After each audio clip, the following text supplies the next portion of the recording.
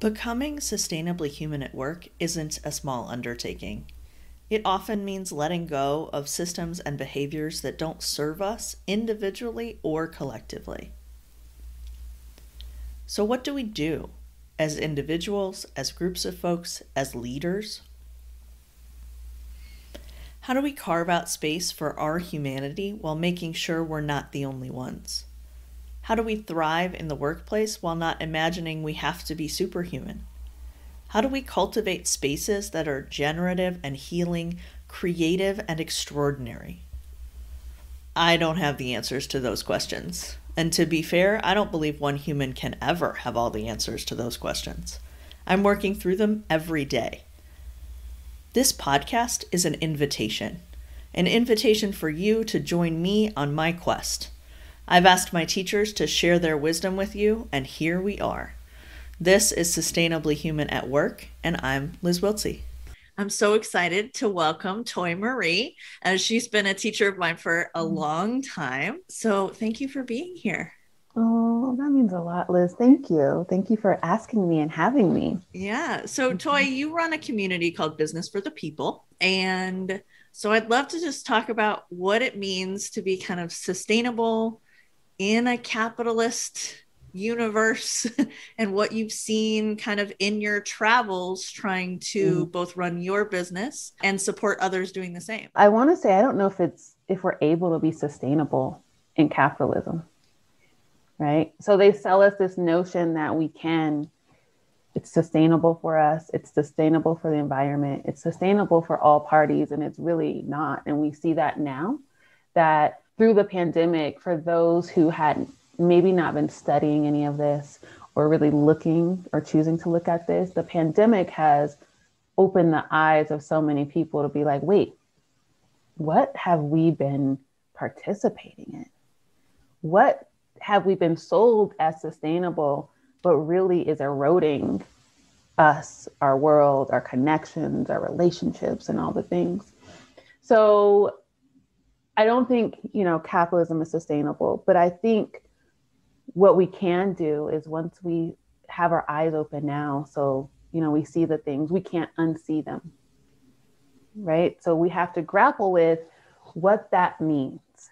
And for me in my work, it means that we tell the truth and then we try to move a different way. So it, it essentially means being curious and it means being open to not having the answers and trying to um, remember a different kind of way of existing in our bodies, with the land, with our relationships, and of course at work.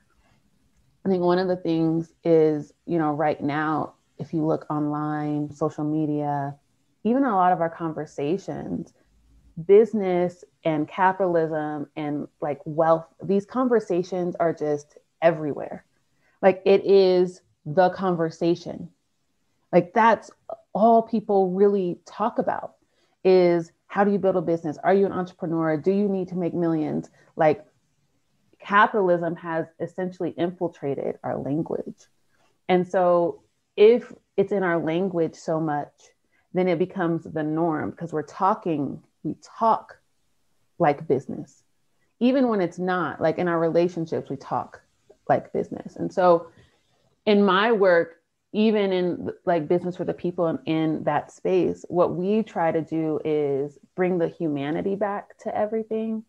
Like what is at the root of us desiring to have this kind of offering or have this kind of work or this kind of business? What is it really trying to sustain or build? Is it are we building something because we financially need to be taken care of? Or is it in comparison to what we've been sold as what we need to do? Right. So have we been marketed to so much that we think we desire millions when we really don't? And so we uncover and look at these questions and then look at what's that intersection and then how do we create and be from that point. Mm-hmm. Mm-hmm. Yes. so one of the things that that I try to make sure we talk about is like if someone comes to you and says, "Toi, like capitalism just feels so big. Like it all feels so mm-hmm. big. What are the first, and I know you said, you know, we talk about, we tell the truth, try to move. Yeah get curious.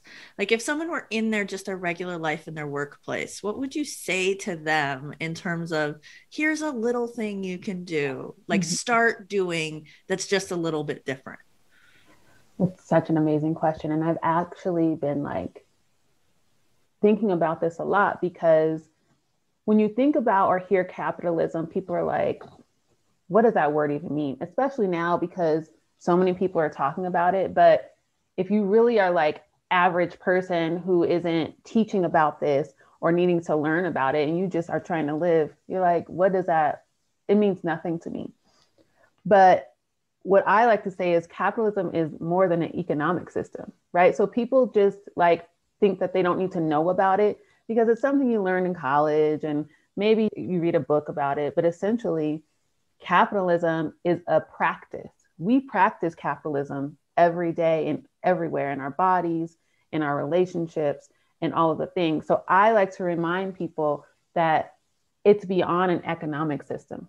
And so if you stop looking at it that way and start to look at it as a spell that we're under, and I want to credit my friend Jen Lemen for always going back to reminding me that capitalism is a spell, that we've been indoctrinated, assimilated, conditioned to believe as a way to being. And so I always suggest people to just be curious about where what are your capitalist practices that maybe are in your world right now? Like how do we navigate relationships? Are we only dating someone because they have money?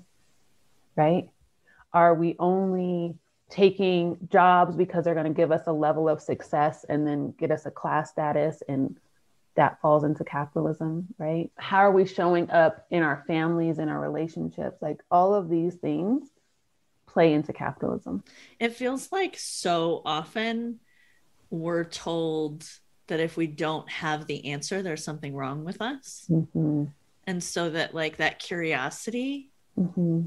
is something that we have to build access to. Yes.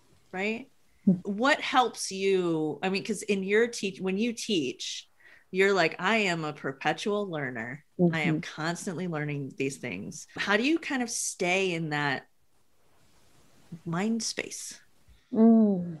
i think because i have seen the benefits of what learning and like excavation have done for me not just like in my mind but like tangibly in my relationships like my relationship with myself with my body, with my, you know, how I mother. So I'm curious to like interrogate really what I've been taught to believe as true. And I think if we think about critical thinkers of like not just taking things for face value, but really being like, do I believe that thing?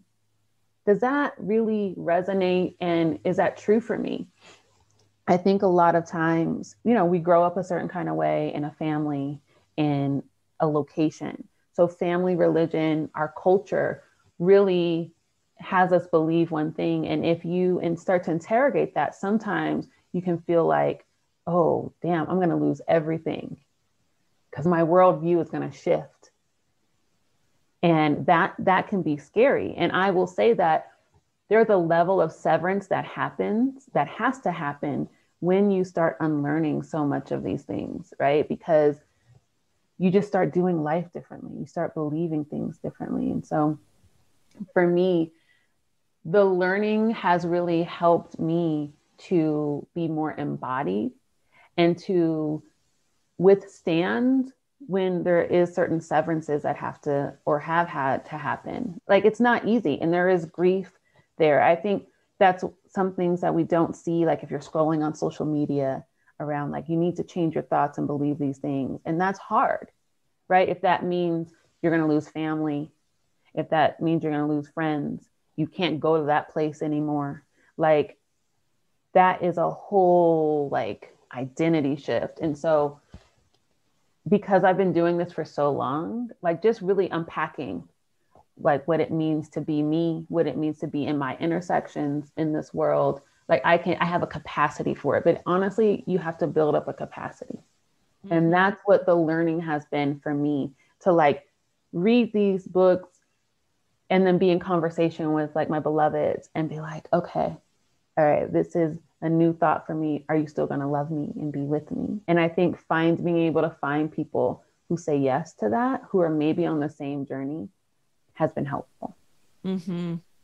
I have said to people that it really only takes one person mm-hmm. to reflect back to you that like they'll still love you if yeah. you go in a space. Mm-hmm. Like we mm-hmm. think it's like 15 and it's not. It's not. No, no, because who has time to have 15 deep relationships?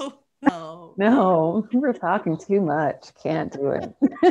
well, and you and I were talking a little bit about the liberatory imagination. Yeah. Um, do you want to say more about kind of how that factors in? Yeah, I want to um, credit Sonya Renee Taylor because I heard her say this on an IG live that she did a couple weeks ago around things like capitalism, like specifically capitalism. We think it doesn't have a root or a beginning.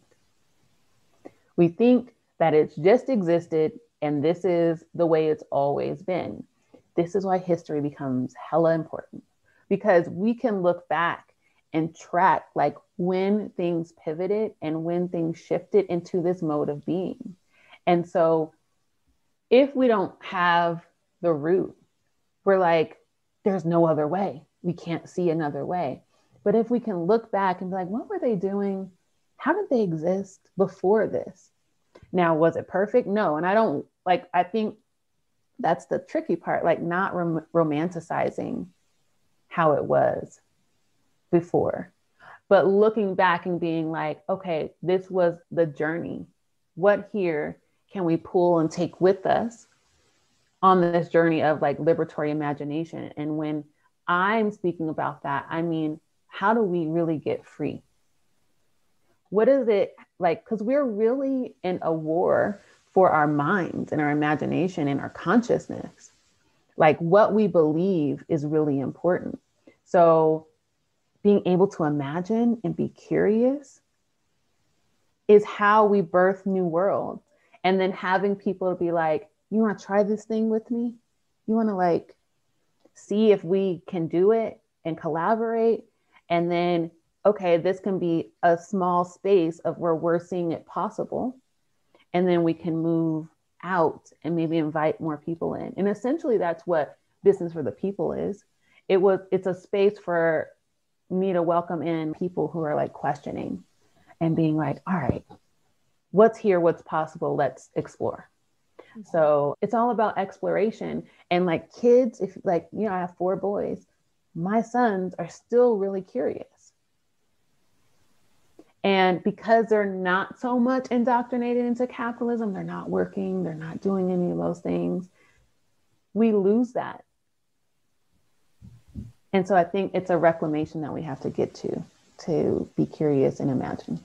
Yeah. Mm-hmm. So, my last question for you is what are yeah. you grappling with?